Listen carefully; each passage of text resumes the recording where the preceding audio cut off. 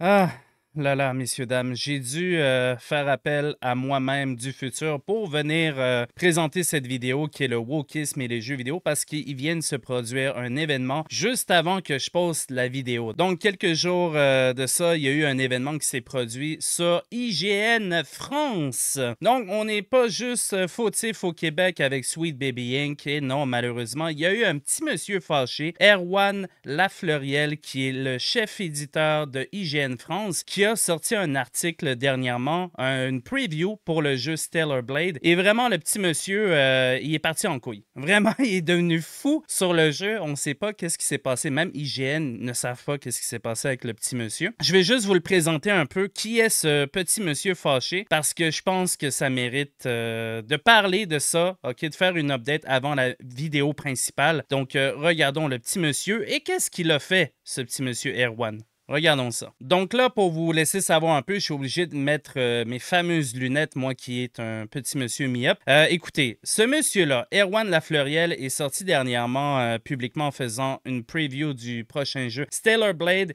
et de son personnage appelé Eve pour dénoncer l'hypersexualisation dans le monde des jeux vidéo. Un peu, c'est en lien avec le wokisme et les jeux vidéo de nos jours que vous verrez plus tard dans la vidéo. Donc, je vais juste vous présenter un peu l'article qui avait sorti, en fait, ce qui avait souligné puis commencé à faire un gros débat. Puis, en fait, l'article, maintenant que lui a écrit, a été modifié par IGN. Je vous montrerai par la suite qu'est-ce qui s'est passé exactement. Mais, donc, voici une portion de l'article que M. Erwan aurait créé et aurait été modifié par la suite par IGN eux-mêmes.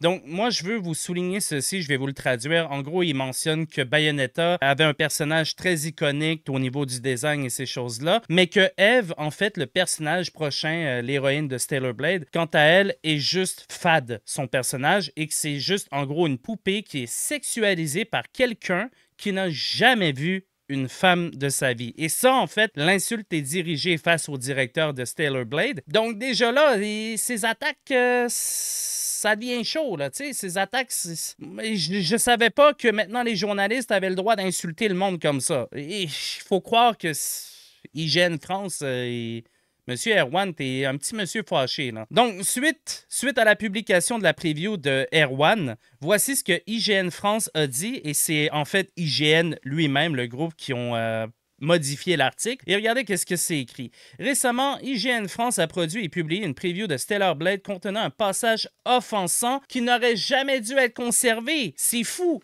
Imaginez, la compagnie qui t'emploie, elle te dit T'es fou, Erwan. Relax, calme, tes nerfs. Tu, vas trop loin avec tes propos. Là. Tu insultes le directeur d'un jeu vidéo, genre Qu'est-ce que tu fais, bro?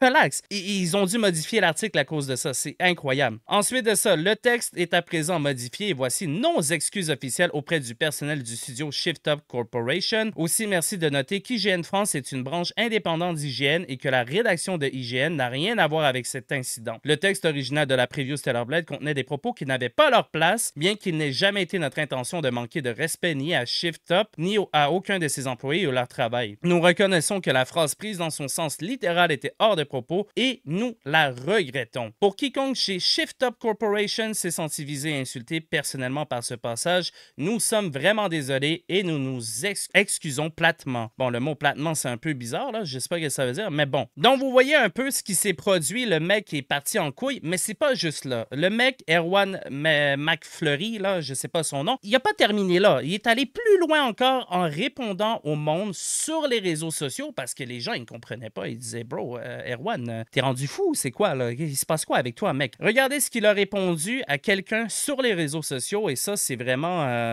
Waouh! Wow. C'est. Quand on parlait de wokisme et les jeux vidéo, ça ressemble à peu près à ça. En gros, il y a une personne qui lui a dit c'est dommage que les femmes aiment aussi le design du personnage, les mecs qui ont peur de l'hypersexualisation, comme si c'était sale, vivent les néo-puritains. Et là, par la suite, Erwan aurait répondu oui, pas de problème, allez dire ça aux femmes qui se font taper dessus, tuer, dénigrer et qui se suicident parce qu'elles ne peuvent pas être dans les standards fictifs espérés par les hommes. Le problème n'est pas le design sexy en lui-même, sauf que là, il est nul comparé à d'autres, mais bon, ça c'est pas grave. Mais le pourcentage de mâles qui ne vont vouloir que ce type de corps fictif dans la réalité. évidemment, on comprend bien que ça ne choque pas les gens qui pensent que les femmes sont des objets qui doivent obéir et être battus. Nous, ce design nous fait soupirer et lever les yeux au ciel. Déjà, Erwan, t'es tout seul, je pense, par rapport à ça, parce que tu dis nous, mais c'était tout seul, je pense, à avoir écrit l'article, même que ta compagnie s'est excusée publiquement aux développeurs. Donc, nous, c'est qui nous? Je sais, est-ce que c'est ta gang de woke? C'est qui nous? Il faudrait que tu nous expliques qui est le nous derrière tout ça.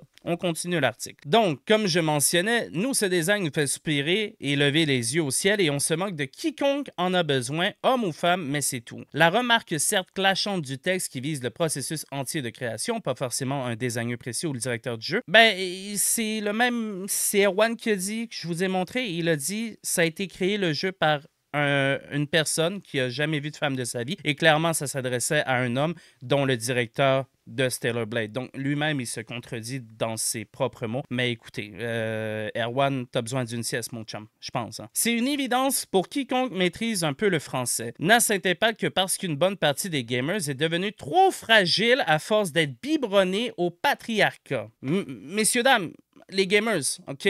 Ici, la chaîne s'appelle Le Repère des Gamers. Tout le monde est le bienvenu ici en tant que gamer et tout le monde euh, en général. OK? On accepte tout le monde ici. Saviez-vous, vous étiez biberonné par le patriarcat. Est-ce que vous saviez, si tu aimes un personnage comme Eve avec des petites courbes, OK? Un personnage fictif qui n'existe pas réellement, vous êtes une merde. Est-ce que vous saviez ça? Quand j'ai voulu faire la vidéo que vous allez voir prochainement, si vous voulez regarder le, au complet la vidéo, c'était par rapport à ça, le wokisme, OK? Et la représentation des femmes dans le monde des jeux vidéo, OK? Je pense pas qu'il y a un gars, quand il joue un jeu, il s'attend à ce que la femme soit sexy, que la femme, on veut y jouer seulement si on voit ses courbes, ses fesses ou ces trucs-là. Je pense pas. Si c'est votre cas, vous jouez au jeu pour les mauvaises raisons. Dans mon cas, à moi, ça n'a jamais été le cas. Je me suis jamais dit, OK, ben euh, si c'est une héroïne, il faut qu'elle ait des courbes, des gros, euh, des gros seins et toutes ces choses-là. Je me suis jamais posé la question, je m'en, je m'en moque. On s'en bat les couilles, bro. Tant que le jeu est bon, on s'en, on s'en fout du reste. Mais de là à insulter un directeur d'un jeu pour ça, c'est quoi ça? Bayonetta, t'es correct avec ça? Eve, non, c'est pas correct. Pourquoi? C'est quoi le rapport? Est-ce que tu es contre Tifa dans Final Fantasy? Est-ce que tu es contre Samus dans Metroid Prime? Est-ce que tu es contre tous les personnages femmes qui sont un petit peu sexy à ton goût? Mais ça, c'est pas correct. C'est quoi le problème, bro? Ça va, Erwan? McFlurry? Ça, ça va? Bref, messieurs, dames, ça, c'était une update que je voulais faire sur ce qui vient de se produire par rapport à Stellar Blade. Moi, personnellement, je pense que Stellar Blade va se vendre comme des petits pains chauds. Je pense que ça va devenir un des jeux les plus vendus de PlayStation. Pas, pas, pas, pas juste à cause du personnage de Eve, mais aussi à cause de ce qui vient de se passer. Je pense, comme vous allez comprendre dans ma vidéo, vous allez voir prochainement, j'ai mentionné que la communauté des gamers est soudée plus que, plus que n'importe quelle autre communauté dans le monde. OK? Et quand il y a un événement comme ça qui arrive, je vous garantis la meilleure réaction de cette communauté-là dans les jeux vidéo des gamers. On va se souder ensemble, on va juste acheter le jeu pour le faire chier, ce mec-là et d'autres personnes du genre. OK? Donc, Erwan McFlurry, là, je pense que tu vas perdre ton travail, mon chum. Je pense que tes jours sont comptés. Tu as le droit à ton opinion.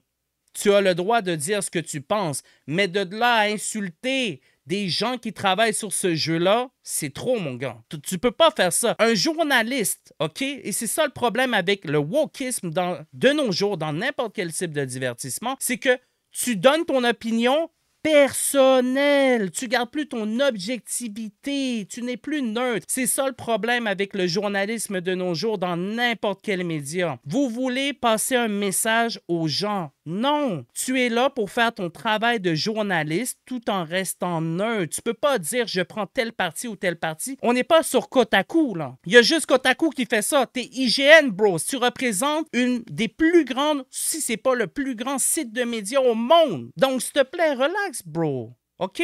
Et t'inquiète, je vais jouer à Stellar Blade pour toi. Je vais te dire ce que j'en pense dans un test prochainement. Tu viendras voir ma chaîne, mon chum. Je pense que tu vas aimer mon contenu. Bref, c'est tout ce que je voulais vous dire par rapport à ça une update. Maintenant, je vais vous présenter la vidéo principale qui parle justement du wokisme et des jeux vidéo, ainsi que Sweet Baby Inc., Naughty Dogs, et toutes ces choses-là. Non, messieurs, dames, bon visionnement et n'oubliez pas de vous abonner à la chaîne. On fait des gaming news, des critiques et des top 10 et on parle souvent de sujets comme ça sur euh, des messieurs euh, qui s'appellent Erwan McFlurry. Donc, messieurs, dames, bonne vidéo et peace. Ah, le wokisme et les jeux vidéo. Qui l'aurait cru un jour qu'on serait rendu là? Hein? Certainement pas moi. Déjà dans le milieu du divertissement en général, surtout au cinéma, on en voit de plus en plus, mais durant les dernières semaines, il y a une compagnie qui s'est surpassée, vraiment, puis je tiens à m'excuser au nom du Québec pour la compagnie de Sweet Baby Inc. Parce que malheureusement, c'est une compagnie euh, québécoise qui sont dirigés par deux Québécois. Et dans le fond, eux, leur but, c'est simplement pour aider les compagnies dans les jeux vidéo, les développeurs, à construire une histoire qui va rejoindre certaines minorités. Que vous soyez noir, que vous soyez LGBTQ, majoritairement c'est ces deux-là. Et eux, ils sont là pour aider les compagnies à refléter, on va dire, la réalité de ces groupes euh, ethniques donc, euh, est-ce que LGBTQ c'est ethnique? Je Je sais pas. Je sais pas. C'est à vous de me le dire. Bref, je vais pas entrer trop dans les détails. Mais dernièrement, Sweet Baby Inc. se font euh, beaucoup attaquer sur Internet pour leur implication dans différents jeux, dont Alan Wake 2. Il y a eu même, je pense, God of War. Il y a un paquet de jeux dans lesquels ils ont été impliqués, surtout au niveau de l'histoire. Et euh, les fans sont pas contents. Et moi non plus, je suis pas content. Je trouve que le wokisme dans les jeux vidéo ne devrait pas avoir sa place. Ou le wokisme, point. Le mouvement des woke, là à la base, ça a été créé, d'après moi, je ne sais pas c'est qui sont créateurs de tous ces mouvements-là, mais ça vient du LGBTQ en première partie, OK, pour l'inclusion et la diversité, dont beaucoup de compagnies font, font partie maintenant, dont un des premiers qui est Naughty Dogs. Naughty Dogs fut une des premières compagnies, déjà c'est basé en Californie, donc euh, là-bas, euh, si vous ne savez pas trop qu'est-ce qui se passe en Californie, là-bas... Euh, c'est très, très woke, OK? Même que les gens en Californie, je ne veux pas trop parler de politique, mais là-bas, tu as le droit de voler au-dessus d'un certain montant d'argent et la police ne font absolument rien. Euh, c'est horrible ce qui se passe là-bas et c'est en majeure partie à cause des woke. On va se dire la vérité. Donc, Naughty Dogs fut une des premières compagnies. Donc, Neil Drunkman, qui est maintenant le, je pense, le gros boss de Naughty Dog. À l'époque, il était directeur pour les jeux comme The Last of Us, Uncharted et ces jeux-là. Puis, à un moment donné, il a sorti le premier jeu. OK? The Last of Us 1 avec Ellie et Joel, qu'on adore tous, n'est-ce pas? Moi, c'est un de mes jeux préférés à fond. Mais quand il a commencé à faire la conception du deuxième jeu, The Last of Us Part Qu'est-ce qui s'est passé? Eh bien, lui-même, dans une entrevue, durant une présentation, je ne sais pas trop où, qu'on peut retrouver sur Internet, je vais vous montrer un extrait sous peu, bien, lui-même, il a réalisé à quel point que la sexualisation auprès de la femme dans les jeux vidéo était trop, trop grande et qu'il n'aimait pas ça. Et tout ça a commencé à cause d'une seule personne, une femme nommée de Anita Sarkeesian, un truc du genre. Elle avait commencé à faire des documentaires sur YouTube parlant justement des femmes, comme quoi en gros que les femmes dans les jeux vidéo, pour la majorité, sont des femmes qui doivent se faire sauver et qui ne sont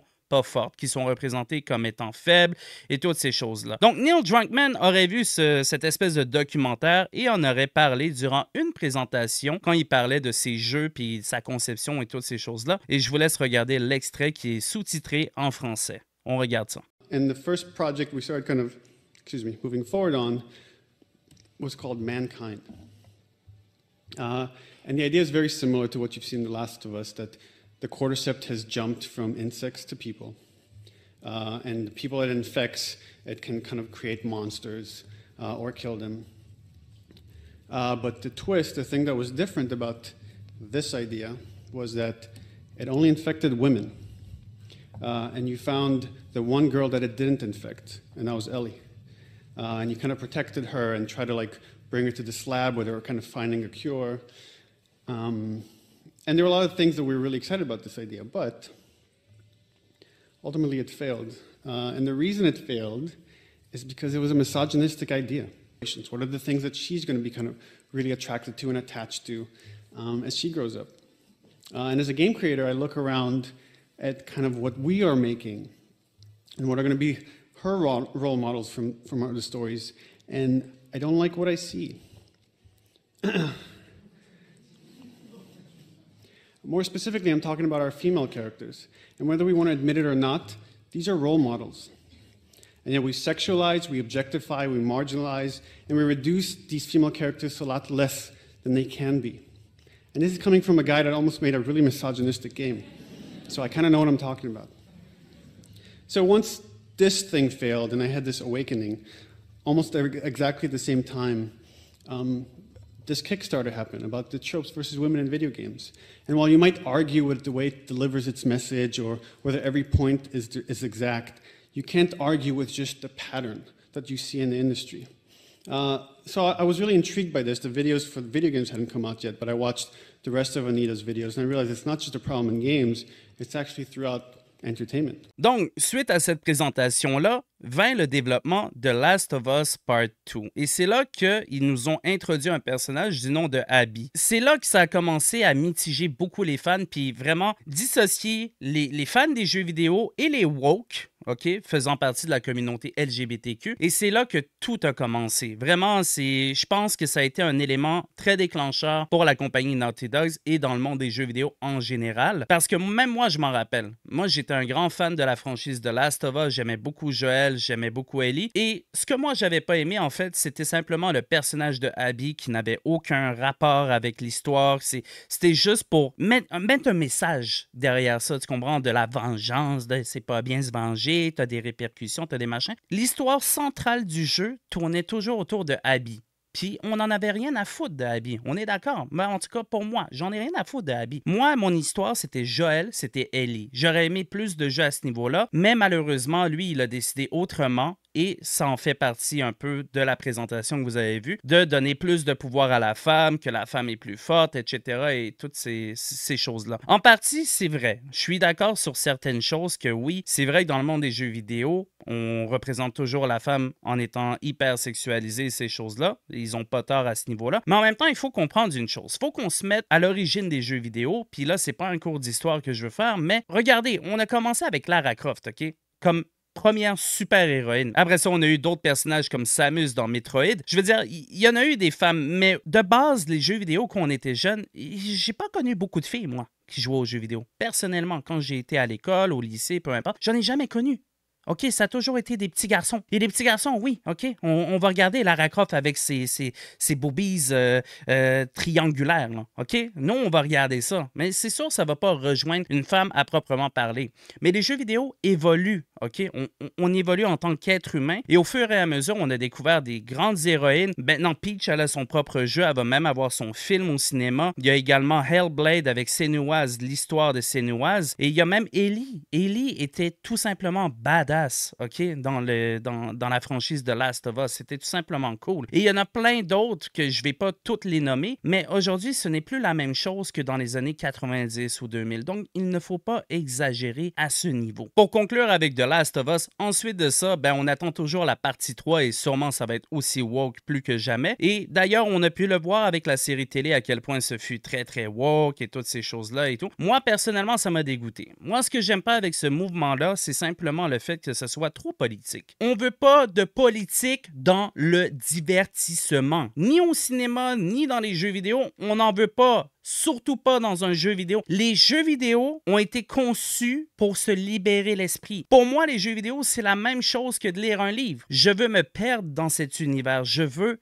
aimer cet univers. Je n'ai pas envie de t'entendre dire Alors, t'aimes pas mon drapeau plein de couleurs de l'arc-en-ciel J'en ai rien à battre de ton drapeau de couleurs de l'arc-en-ciel. Je m'en moque. Fais-moi un personnage badass, cool, que je vais aimer, qu'elle soit homme, femme, chat, comme tu veux. Je m'en bats les couilles. Tu sais, la, politique, c'est chiant. on le voit de plus en plus, puis c'est pas juste dans les jeux vidéo où est-ce qu'on en voit énormément, mais Maintenant, ça prend de plus en plus de place, dont Sweet Baby Inc., justement, la compagnie montréalaise, avec qui ils auraient fait euh, plein de choses, etc. Si vous regardez juste au niveau Disney, Disney, c'est la plus grande compagnie qui se sont lancés là-dedans, tête baissée, OK? Ils se sont dit, on va aller super woke, on va mettre des choses que les gens ne veulent pas voir. Et pour être honnête, when you go woke, you go broke. OK? Quand tu décides d'aller woke, tu deviens pauvre. Et Disney en ont payé le prix jusqu'à aujourd'hui. Ils en payent toujours le prix. Donc, sincèrement, si vous décidez toujours de vouloir être woke en suivant les conseils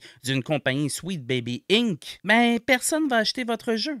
OK? Je vais vous donner euh, l'exemple sur moi. OK? Mon papa, il est arabe. OK? Il n'y a aucun jeu vidéo jusqu'à ce jour qui montre un protagoniste arabe dont je suis fier. Comment vous allez m'atteindre, moi? OK? C'est pas en mettant un transgenre, un, un non-genré, un- une affaire de même que tu vas m'atteindre, moi ou n'importe quel gamer. On s'en bat les couilles, bro. On veut juste jouer à des jeux vidéo. Même Prince of Persia, le dernier, a même pas été capable de faire un arabe qui a du sens. Si. Ça n'a aucun bon sens. Si c'est déconnecté de la réalité. Arrêtez de penser à notre place, OK? Arrêtez de vouloir décider ce que nous, on veut aimer. Faites juste nous demander, man. Il y a plein de forums de nos jours. Il y a des Reddit, il y a des Steam. Tu peux aller sur des forums sur Steam, bro, parler avec tout le monde. Il y a plein de façons. Décide pas pour nous ce qu'on a envie d'aimer. Ça n'a aucun sens. On n'est pas dans la politique, là. On est dans les jeux vidéo. Ah, garde ta politique pour chez toi, puis pleure chez vous, OK? Ça suffit avec ces conneries-là. Sweet Baby Inc., arrêtez. Surtout que Sweet Baby Inc., ils ont pleuré ces derniers temps en disant qu'ils se sont fait menacer, se sont fait ci, se sont fait ça. Mais c'est les mêmes qui envoient chier tout le monde. Ils disent, vous aimez pas ce que nous on fait, mangez de la merde. C'est eux-mêmes qui l'ont dit. Mais bro, tu vas m'insulter moi, on va t'insulter aussi. T'es qui, bro? Dans le meilleur des mondes, faudrait pas s'insulter, mais à un moment donné, si tu dis accepte ce que nous on fait, sinon euh, va chier, ben non, on va, on va se défendre. Fait que non, il faut arrêter avec ce mouvement-là, il faut arrêter avec ces choses-là. Vous êtes en train de briser les jeux vidéo. Déjà, le monde des jeux vidéo, on a plein de problèmes, OK? On a des problèmes au niveau des microtransactions, on a des problèmes avec les, les jeux services en ligne, on a, on a des problèmes. N'en rajoutez pas plus, s'il vous plaît, OK? Ça suffit, man. Tu sais, quand, quand ils essaient de nous forcer des trucs maintenant au cinéma ou dans les jeux vidéo, c'est ça mon visage, OK? À chaque fois quand je vois des choses comme ça, voici mon visage. C'est à ça que je ressemble, c'est la face que je fais. Donc, s'il vous plaît, arrêtez au nom de tout le monde. Sinon, tu sais quoi? Il n'y a pas de menace que je vais faire. C'est juste, vous allez devenir pauvre. On va vous rendre pauvre. S'il y a une communauté dans le monde qui se tient les coudes serrés, je connais pas l'expression, mais en tout cas qui se tient plus que n'importe quel autre communauté dans le monde, c'est celle des jeux vidéo. Quand votre jeu est nul à chier, on n'a même pas besoin de communiquer entre nous. Tout le monde le sait. C'est ça la beauté des jeux vidéo. Donc, si vous essayez de nous rendre woke, tout le monde avec vos messages débiles, ben, vous allez finir par être broke. C'est la vie. Puis nous, on va rire, on va continuer de jouer à nos jeux, on va être chill. Donc, s'il vous plaît, arrêtez avec vos conneries, là, parce qu'on en aura le bol. OK? Au nom de tout le monde, stop. C'est trop. Voilà. C'est tout ce que j'avais à dire par rapport à ça. Merci à tous, prenez soin de vous et peace.